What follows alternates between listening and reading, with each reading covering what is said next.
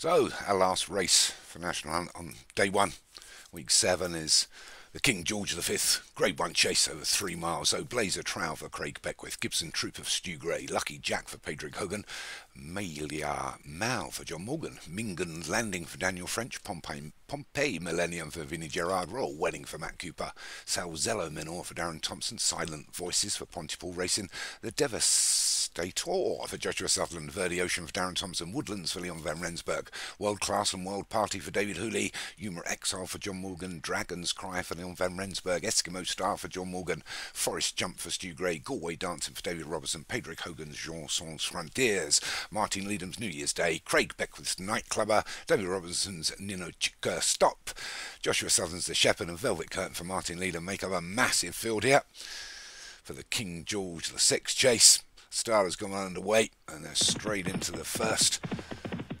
They all clear it. A couple of stickier jumps. First jump right at the rear. We're going to wait for these to settle down. It's a big old field to get to the ditch. The second. All over it. It's like the back this time was Blazer Trow. So it's the Devastator that leads us. Out wide Dragon's Cry, which will probably try and peck over to the fence. Then the two John Morgan newcomers, Eskimo Star and Malia Mal. And uh, Stu Gray's newcomer, Gibson Trooper. Um, wide out there, it's Velvet Curtain, winner last time out. And we've got Padraig Hogan's two, Lucky Jack and Chansons Frontiers. The Shepherds in there, up against the route. Just back to the remainder of the pack, the one that's gone out really wide is World Party. And Chica stops out there as they go over the third.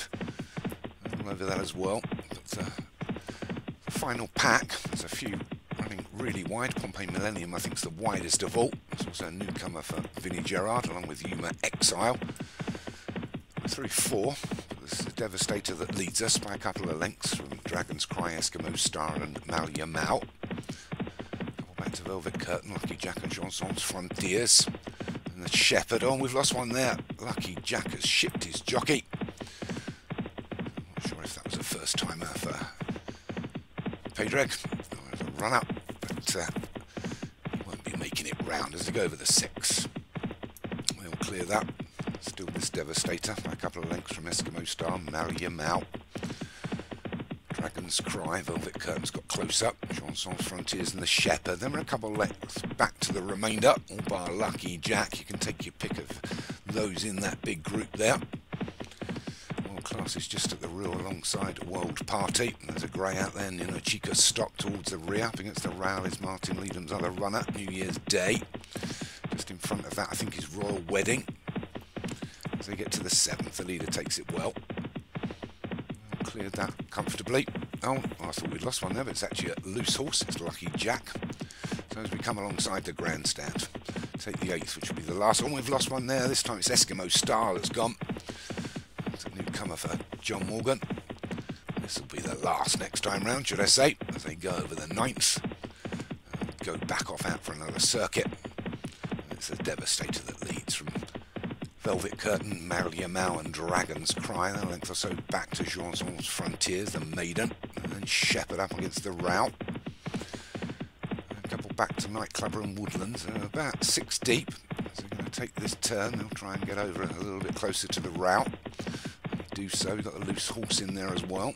Just in front might cause a few problems. You can see Forest jump there as they go over the water. A big old high jump there by Dragon's Cry as he slips back into the chasing the chasing pack.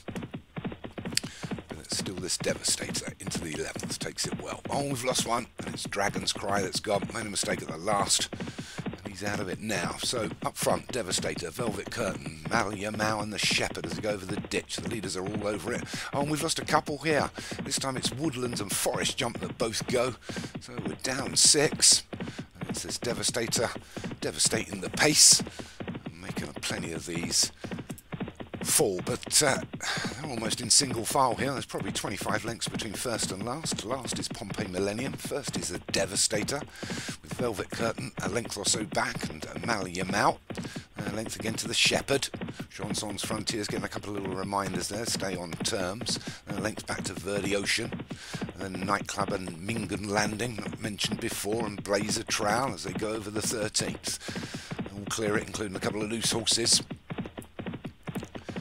A few of these have got to get a bit of a wiggle on as they go over the 14th. A much better jump there by Velvet Curtain joins the leader, the Devastator, asks for a little bit more and takes it back up again. So the Devastator from Velvet Curtain, two back to Malia Mao and the Shepherd. Then we've got Janson on the Frontiers under being hurried along now. And then we've got Nightclubber and Verde Oceans. They go over the big ditch, the 15th. The leaders are over it. Looks like they've all cleared it. And it's the Devastator that leads as they come into the final home turn.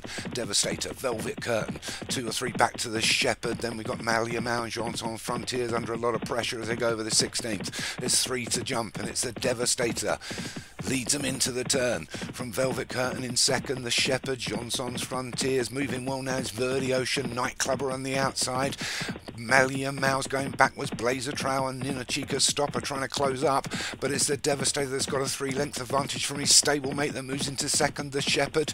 Then we've got Verde Ocean and Nightclubber. I think it's going to be between these four if they stay on their feet. And it's the Devastator, the Shepherd, Verde Ocean, Nightclubber, Blazer Trow. They're over the 17th. He's getting slow up front, the Devastator, and his teammate, the Shepherd, coming along with Verde Ocean, and it's Verde Ocean that looks like he's got a bit more.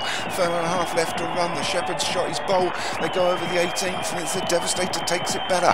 A furlong left to run, and it's the Devastator over the last, gets over it, but on the outside his nightclub is going to reel him in there. Half a furlong left to run. Has the Devastator got anything left? He's holding him off. Nightclubber needs the line not to come, and it's the Devastator from Nightclubber. Devastator hangs on from Nightclubber in second. Verde Ocean was third.